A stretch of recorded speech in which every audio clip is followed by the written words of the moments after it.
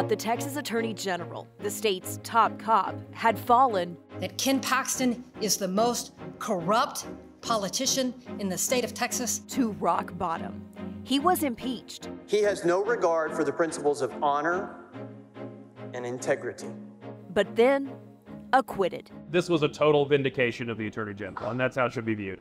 Ken Paxton escaped political prosecution, but what lies ahead is criminal, so the stakes are higher. Paxton could potentially fall farther. The AG will finally go to trial on felony securities fraud charges in the spring of 2024. He was indicted in the summer of 2015. In a sense, this is actually even more serious than the impeachment trial because it really deals directly with his liberty. Paxton and his legal team have been trying to get this case thrown out for almost nine years. There's also an active federal investigation into Paxton. WFAA confirmed a grand jury in San Antonio heard testimony from witnesses close to the AG. And Paxton is also still being sued by four whistleblowers. The Court of Impeachment of the Texas Senate is now in session. That's the case that sparked the historic impeachment trial at the state capitol.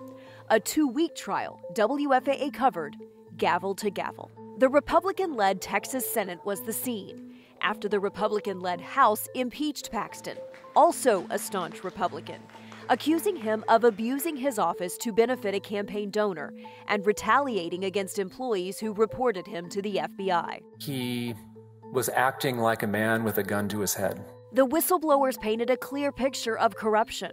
I was deeply concerned that the name and authority and power of our office had been, in my view, hijacked to serve the interests of an individual against the interest of the broader public.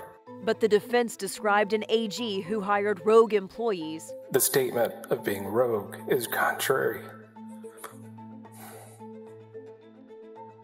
to the years that I dedicated my life to the state. Employees who just wanted power for themselves. You were involved in staging a coup, weren't you? Absolutely not. Paxton's alleged mistress was even called to the Capitol, but avoided testifying. Paxton's wife, a senator, watched it all, start to finish.